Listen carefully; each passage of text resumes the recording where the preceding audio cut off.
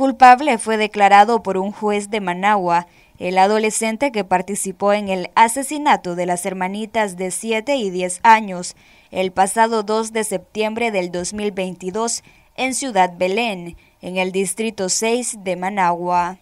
El fallo de culpabilidad fue dado a conocer por el juez Roger Sánchez, titular del Juzgado Primero especializado en niñez y violencia por el Ministerio de Ley. El representante de la Fiscalía pidió seis años de cárcel que es la pena máxima que establece el Código de la Niñez y la Adolescencia para adolescentes que infringen la ley.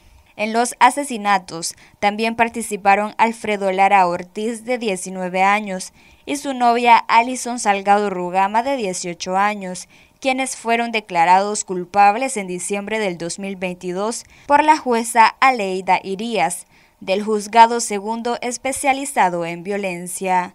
Tras matar a las niñas, envolvieron los cuerpos en un colchón y los fueron a botar a un basurero a pocas cuadras donde vivían las menores. El Ministerio Público contó con más de 30 testigos y pruebas científicas. Una de las pruebas más contundentes que se ofreció en juicio fue el ADN de los sujetos encontrados en los cuerpos de las niñas en cable y bloque que usaron para matarlas. En el caso de los dos sujetos mayores de edad, la Fiscalía pidió prisión perpetua y 100 años de cárcel.